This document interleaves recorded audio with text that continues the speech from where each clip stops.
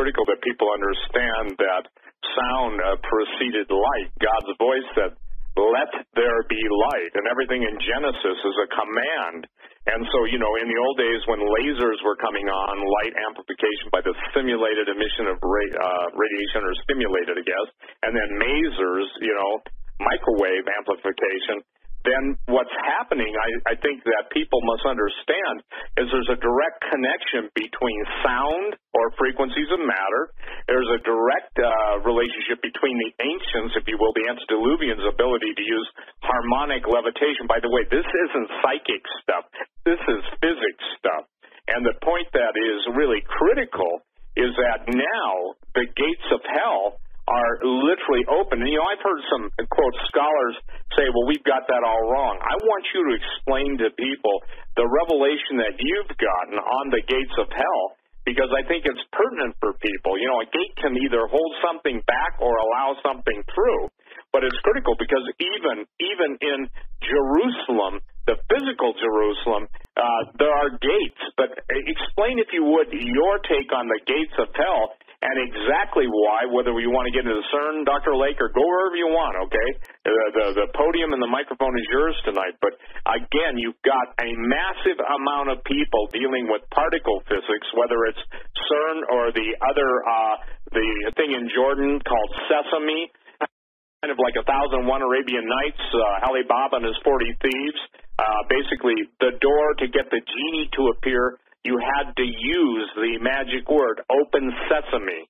So, uh, you know, give us your take on the gates of hell because God said they're not going to prevail against us, but we better learn that they're going to try and seek the Lord for the ability to deal against them. Go ahead, sir. Well, biblically, and, and when you when you look at ancient cultures, whenever they talked about the gates of hell within their gates, it wasn't just physical gates that there were chambers within the gates that you would have the judges, the elders, the key leaders of a city. And so whenever you would talk about coming against the gates of something, it wasn't just the physical gates, it was all the, the councils of, of that city or that nation. And so when Jesus said that the gates of hell would not prevail against it, he was actually speaking beyond where the disciples were when he said this with, at Mount Hermon that the watchers for the, the most of the leadership of the watchers were incarcerated. We know that from the book of Enoch. And so the early church never faced the full council of the gates of hell. In the last days, well, and I dealt with this in my in my first book that there there is evidence both technologically and with preparation of what the elite have been doing. They expected the watchers to begin to be systematically released around the beginning of the 20th century. And so when you deal with the gates of hell, um, you know, Jesus went to Mount Hermon, which was ground zero for the watchers. You also had the Grotto of Pan, you had the entrance to Hades there. Uh, you had Nimrod's fortress that was built on top of uh, of there. And if you look at topographically at Mount Hermon, you will actually see on one side, you will see a goat's head in the topography Many believe that that is the area that Azazel has been incarcerated by Almighty God. And so Jesus could not have chosen a more strategic place. But guys, we need to understand that when we're dealing with the gates of hell, we're dealing with Lucifer, we're dealing with the Nachash of the garden, that seraphim that came down in his fire, we're dealing with the watchers, we're dealing with principalities and powers and rulers of darkness. And then what's interesting, what, what the Apostle Paul reveals in Ephesians 6, where he talks about spiritual wickedness in heavenly places. That's not dealing with an entity, that's dealing with what I call the iniquity force. It's, it's Satan's black river of power that flows through the second heaven. That we're going to have to stand off and face all that and the technology and everything that that brings. And when you understand that rulers of darkness, cosmocrator, in, in the Greek, deals not only with a throne of power, but could actually deal with the with the planets that are in our solar system. That when you begin dealing with higher spatial dimensions, you begin dealing with the second heaven and third heaven, that time is different because of, the resonance of, of, within those dimensions. They have there. There's a different relationship with time. That when you get up to the third heaven, what it seems like a thousand years to us is simply one day to them there. Uh, when in fact, I believe if you're in dimension zero, which is which is hell, one day to us may feel like a thousand years to them. But also, distance is different. That's why you know when when someone's translated by the Lord, God simply brings them up into the second heaven and moves them an inch and sets them down, and they appear on the other side of the planet. So there can be things in the planets on a second heaven level that deal with the things that are going on here on Earth. So things are, could get real sci-fi on us real quickly. And I, I think that's what they're counting on is that we're not prepared for what's coming. D- Dr. Lake, I just have a question, if I may. Um, the second heaven to which you refer is could you would that also be um, analogous to a second or, or a, another dimension, or is that something different? It is uh, in, in uh, on page 29 of my book in the Shereeth Imperative. I basically try to unify superstring theory and the Bible. And that when superstring theory tells us that there are 11 dimensions, 10 are dimensional, and one is temporal. And I suggest that there's actually one that they may never count, which is dimension zero, which would have no expression within the physical realm. And that's where God would place hell. And so we we have after the fall of Adam, when God placed that flaming sword, he separated the three heavens. We have access to the first heaven, which are our three dimensions plus time. So when you go up higher than that, you get into the astral plane or the place of the second heaven. And then you go up even higher than that, you would reach into the third heaven. But what's interesting, it's like laying three sheets of acetate together. They all take up the same space, but depending upon how you resonate with the speed of light, that, that really causes you to have access to those different dimensions.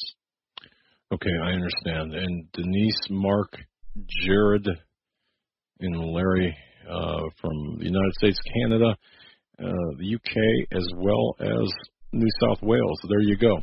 Stephen, I'm going to kick it back to you, sir. We got about uh, four minutes to the top of the hour. The reason this stuff is relevant is because Daniel was told by the messenger, the angel, uh, the Holy One that was that Daniel was told to seal up Daniel the vision for is yet for an appointed time. And Doug, my position on CERN and all particle reactors and all subatomic physics has been from the start of uh, talking about it. Obviously, CERN wasn't in the works 25 years ago, but the whole idea is to basically thrust mankind. Uh, God gives people in uh, time and space the potential to exercise their free will. And your free will is interesting. Imagine, if you will, uh, uh, and I'm going to use a word, a matrix. I don't mean this in any form of New Age term, but just imagine a multi-dimensional chessboard, and where every square intersects with another square, both above, to the side of it, on top of it. That's your free will. What you determine and how you respond to the choices presented to you, and let's just call it this time space events determines the, uh, if you will, the ongoing pattern that's developed. That's why when people uh, either have a near-death experience or do have a near-death, an after-death experience, they say their whole life passed before them in an instant.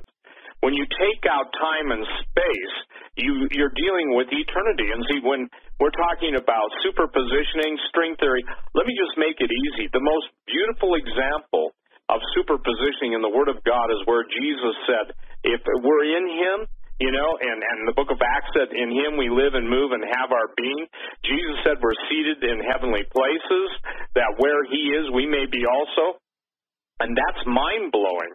That tells you that in order to occupy that realm of space, heaven, and eternity, and even the time we experience as a mystery, God has done something marvelous through the new word. You know, Dr. Lake, this is my number one uh, desire is that when we talk about stuff like this on any radio program or interview, we put the wow for the living God back in people's hearts. We put the explosion of praise.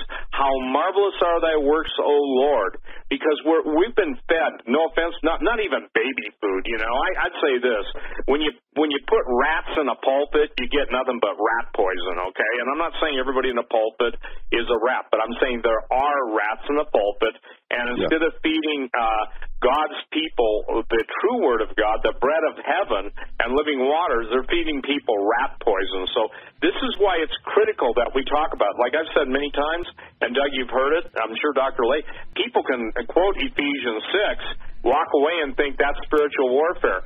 What we're doing is warning. God says, Surely he will do nothing except he reveals his secrets to his servants the prophets. Neither Dr. Lake or I are saying we're prophets. What we are saying, though, is the testimony of Jesus is the spirit of prophecy, and he's the one who loves his sheep, Amen, and Steve. he's the one that gives us power.